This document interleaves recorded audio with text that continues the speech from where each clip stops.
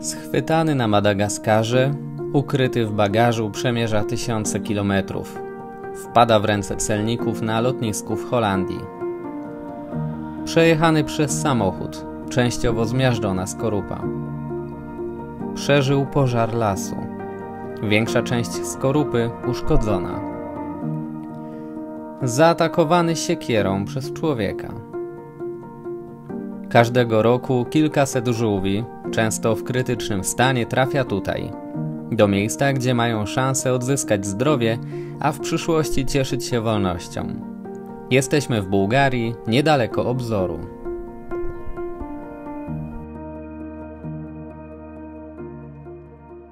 Który ma bardzo ostre. Chyba te twoje paznokcie naprawdę Paty, masz tego hibiskusa? Ratuj matkę. Ratuj matkę, bo on myśli. No, Twoje jestem uratowany. to hibiskus, tak? tak. Komu temu? Masz, bo ty jesteś tam dobry. No daj mu, daj mu. No to ty uciekaj tam tędy, mamo. Uciekamy przed żółwiami. To brzmi wręcz komicznie. Pan mówi, że on jest bardzo do niego przywiązany, chodzi za nim jak pies. Ten żółw, koja godzina go chwanali tam na granicy ta? 99. Mhm. W 99 roku e, został przechwycony na granicy holendersko-niemieckiej. Jacyś przemytnicy z Madagaskaru próbowali go przewieźć. No i znalazł się tutaj pod ochroną od 99 roku. Jest ogromny. Nie było możliwości zwrócić go z powrotem na Madagaskar, bo było takie ryzyko, że mógłby przywieźć e, chorobę, która może wykończyć tam całą populację. Dlatego musi się znaleźć już na innym miejscu, w takim właśnie ochronnym centrum. Ale jego dzieci e, są, e, w planie jest, aby wróciły na Madagaskar, kiedy oczywiście będą już przebadane. Wszedłem tutaj na ich terytorium. Cześć przyjacielu. Pokaż ty się. Pokaż. Ale jesteś fajny. Cześć. Idzie, w ogóle się nie boi. Kto lub co jest największym wrogiem żółwia? No w dużej mierze oczywiście człowiek. E, Jakiś czas temu w Bułgarii żółwie były popularnym przysmakiem. No i nie chcemy tutaj sobie żartować o zupie żółwiowej, ale one uchodziły nie tylko za przysmak, ale również za skuteczny sposób walki do walki z rakiem. Także żółwie znikały na potęgę. A teraz jak śmigacie przez słoneczny brzeg, jedziecie z zawrotną prędkością, możecie nawet nie poczuć, że coś chrupnęło pod kołami samochodu. No niestety, one często przechodzą, to są ich tereny. Czują się tutaj swobodnie i idą przez tą drogę. Nam wielokrotnie udawało się zatrzymać, gdzieś tam tego żółwia przenieść. No ale wiele z nich ginie pod kołami. Często też żółwie są ofiarami kosiarki. Także właśnie żółwiki, które miały spotkanie bliskie z samochodem albo kosiarką, przeżyły to, no, ale są ranne, trafiają tutaj do centrum. Tutaj się je leczy i mają szansę na dalsze życie.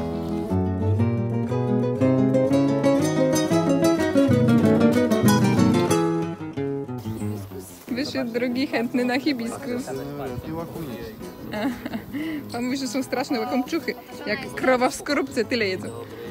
Patrzcie, Pati od... one kopią tunele i tu sobie naprawił, zrobił sam ten żółw, ten tunel. O, skubaniec.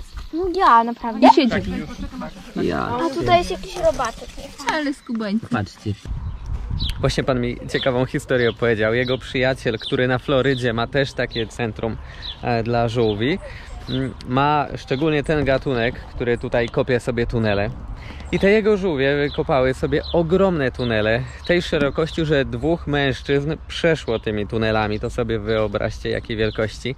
Tyle, że jak na złość, żółwie przekopały się pod drogą i asfalt się zapadł. Teraz facet ma sprawę w sądzie o to, że jego żółwie zniszczyły miejską drogę.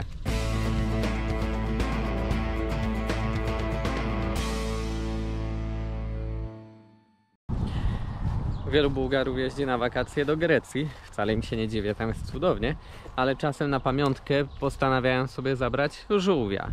E, Żółwie, które w tej chwili widzieliśmy, występują od Olimpu w stronę Pelopones dość powszechnie, natomiast w Bułgarii nie ma tego gatunku. ale są w miarę bliskie z tymi, które występują w Bułgarii. Więc jak jakiemuś Bułgarowi przyjdzie do głowy, że a weźmy sobie tego słodkiego żółwika do domu, później mu się znudzi żółwik, wypuści go do ogródka. Jeśli ten żółwik będzie miał dzieci z takim bułgarskim żółwikiem, to może dojść do jakiejś totalnej katastrofy. Pan nie chciał nam więcej tam opowiadać o genetycznych zmianach, jakie by to, a, do, do jakich by to doprowadziło, ale mówi, że na pewno źle się to skończy. Dlatego też dobrze, że udaje im się przechwycić albo z granicy, albo ktoś, komu się już znudził taki żółw, oddaje go tutaj do centrum.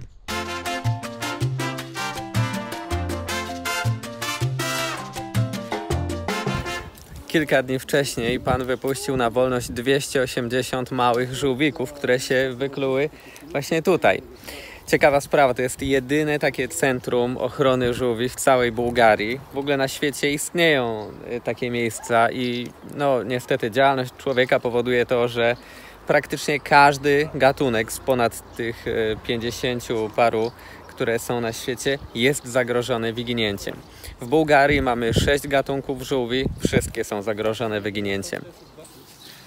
Ten był przejechany, ten od jakiejś rośliny rolniczej. Ten żółw to mój wielki powód do dumy. Udało mi się go uratować. Zobaczcie, przynieśli mi go po pożarze lasu. Najpierw się palił, a potem jakieś zwierzę go próbowało zjeść to praktycznie było mięso mielone. Tego typu żółw po przejściach już na zawsze zostanie u nas, bo sobie nie poradzi na wolności. Prawda, przyjacielu? Natomiast te dwa maluchy się tutaj urodziły. Jeden to jest żółw z Birmy, a drugi indyjski. Śliczne są. Każdy jeden żółw ma oryginalny wzór na grzbiecie. Nigdy się one nie powtarzają. I gdy ktoś chce legalnie e, hodować sobie takiego żółwia, to wraz z certyfikatem dostaje zdjęcie tego żółwia. I są specjalne programy, które skanują te zdjęcia i mogą wychwycić, czy taki żółw jest legalny. I tutaj zobaczcie. Chapnął cię? Nie, ale było blisko. Masz hibiskus. E, naprawdę. O, ma i mamy dwa maku i tu będzie hibiskus. Zobaczcie, to jest bardzo ostre, boję się pokazać palcem. Ojejku, co tu przyszło. O, o, otoczona I tu można zapukać. Dzień dobry. Jest tam kto?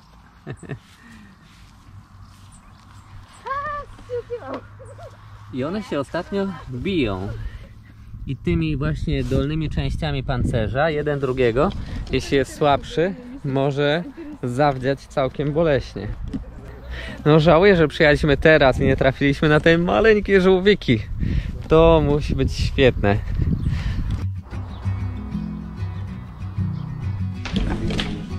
Dawaj, dawaj. Proszę bardzo, proszę bardzo. Organizujemy tutaj kolonie, spotkania dla dzieci, bo wiem, że samo rozmnażanie żółwi nic nie da. Trzeba zmienić myślenie ludzi. A ci, co wierzą, że krew żółwia leczy raka, to pokolenie, do którego już nie dotrę. Liczę na młodych ludzi, którzy mogą coś zmienić. Nie jedzcie żółwi.